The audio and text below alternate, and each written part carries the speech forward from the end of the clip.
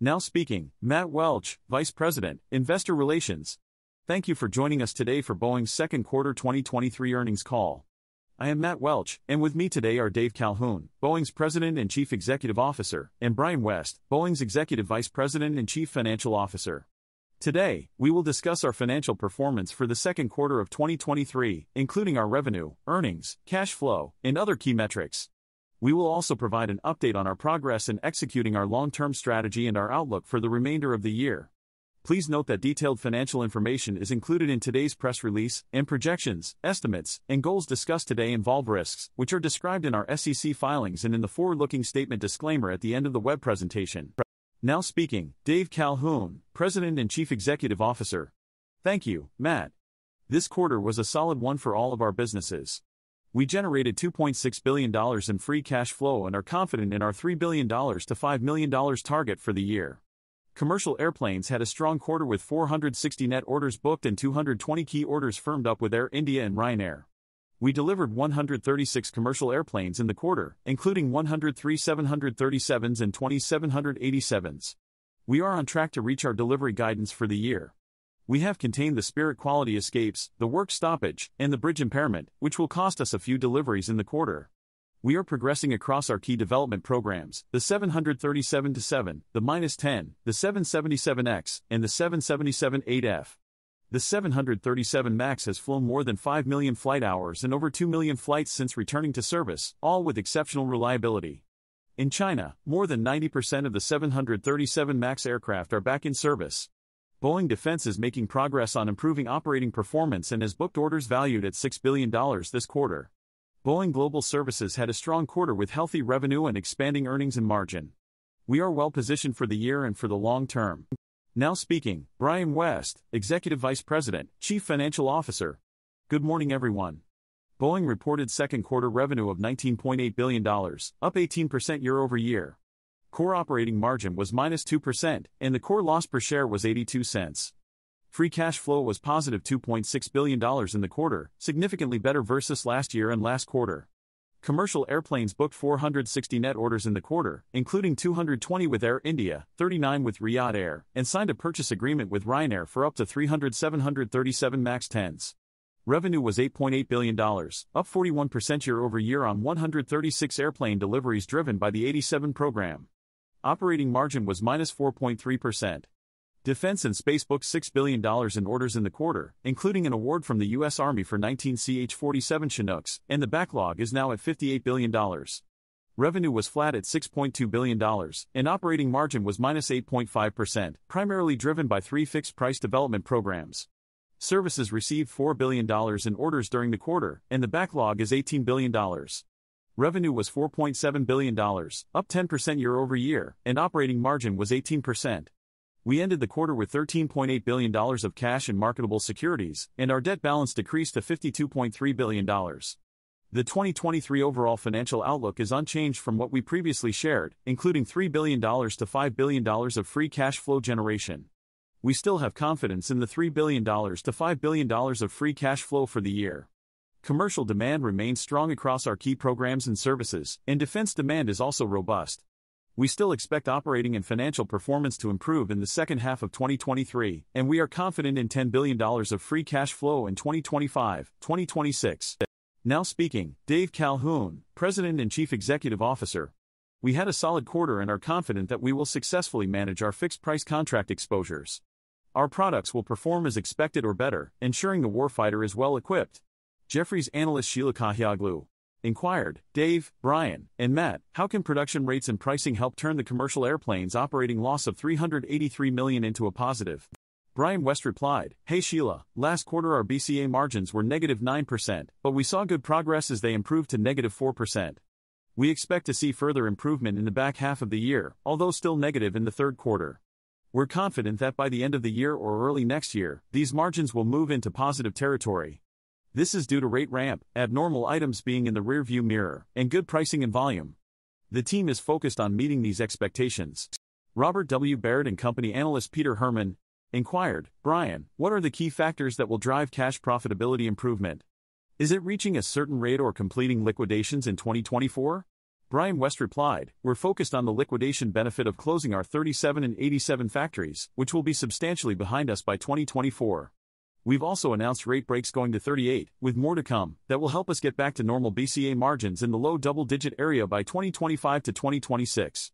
We know what levers we need to pull to get there, we just have to execute. Wolfe Research analyst Miles Walton inquired, Brian, are we now at the top end of the 737 delivery range for the second half? Dave, what regulatory progress has enabled the 777X production pull forward?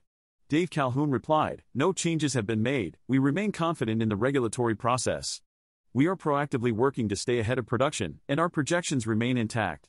Brian West replied, In Q2, we delivered 103 737s and expect quarterly rates to be higher than that. We had some impact from Spirit, but we are confident that we can move up to the higher end of our range. We'll keep reporting on our progress as we execute and deliver more planes. Citi analyst Jason Gursky inquired, Can you confirm the 60 15 25 mix of margins in defense and discuss your assumptions for getting back to a high single digit rate in that business by 25, 26? Brian West replied, Services had an excellent quarter, with both commercial and government businesses performing well. We expect margins to remain in the mid teens, with occasional quarters being a bit better. We feel confident in the long term outlook of this business. Dave Calhoun replied, It's clear that the market is still in a supply constrained environment. We're seeing favorable pricing as a result, and it doesn't look like this situation will change anytime soon. Everyone is competing for the next part, so I expect this to continue for the foreseeable future.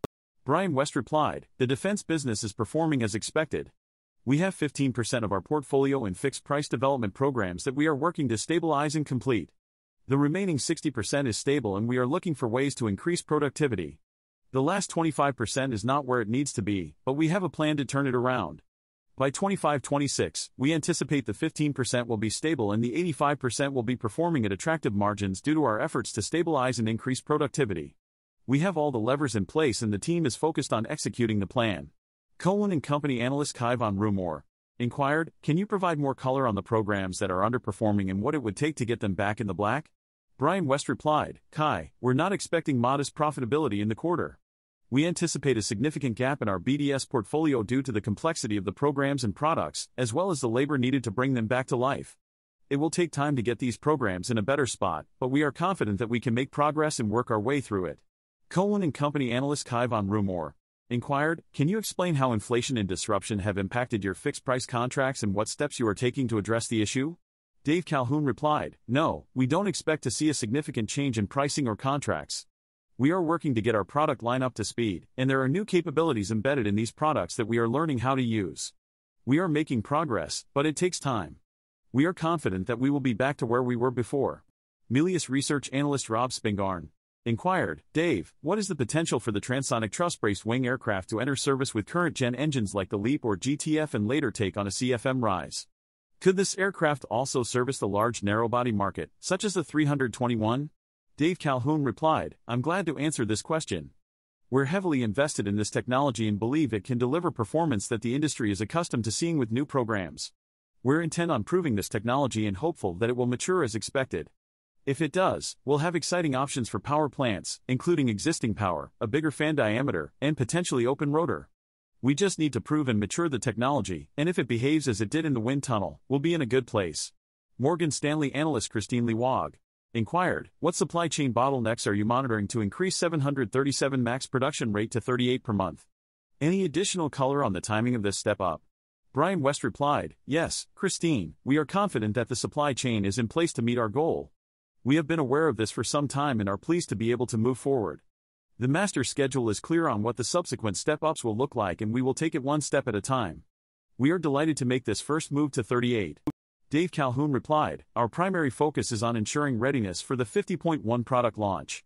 Morgan Stanley analyst Kristine Liwag inquired, What metrics are needed to move from 38 to 42 per month? Dave Calhoun replied, Yes, we are confident that 38 will come in a stable form. We have excellent visibility into our supply chain and can anticipate the step ups to 40, 42, 44, etc. Our factories are assembling and delivering at a steady pace, so we are confident that 38 will be achieved. Barclays analyst David Strauss inquired, Dave, what is the current status of 787 deliveries and what challenges are you facing? Brian West replied, We are confident that we will reach our goal of 70 to 80 deliveries for the 87 this year. We have been working diligently on joint verification and are focused on stabilizing at 4 and then working our way to 5. Dave Calhoun replied, We are confident in the stability of our product line and there are no new issues to report.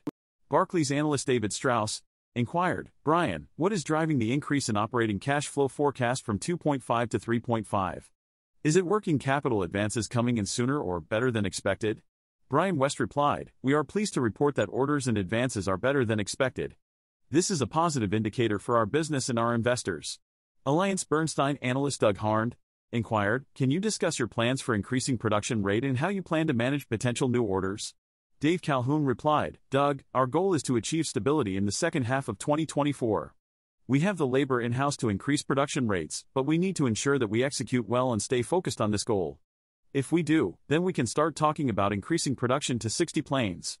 Alliance Bernstein analyst Doug Harned inquired, How are you thinking about the logistical complexity of running one line in Everett if you aren't up to 60 yet? Dave Calhoun replied, We are focused on stability and having more capacity than we need to ensure that we are ready for the next growth phase. We are taking a careful approach to ensure that any capacity we have is used in an optimal way, so that it does not cost us much and improves our delivery and stability. We are also making sure that our workforce transition is successful, as this is the most important part of our strategy. JP Morgan Chase and Company analyst Seth Seifman, inquired, Brian, what are the key items to watch in the supply chain for the 787 production ramps and deliveries? What is the potential for deliveries next year and how can we ensure we understand it without getting overly exuberant? Brian West replied, I'm confident that our 87 team is on track to reach their goal of 5 deliveries per month by the end of the year. We have seen steady progress in joint verification and production rates, and we are no longer in the abnormal category. We are on a path to reach 10 deliveries per month by 2025 to 2026. The supply chain is becoming more stable and coordinated, and we are continuing to execute our plans.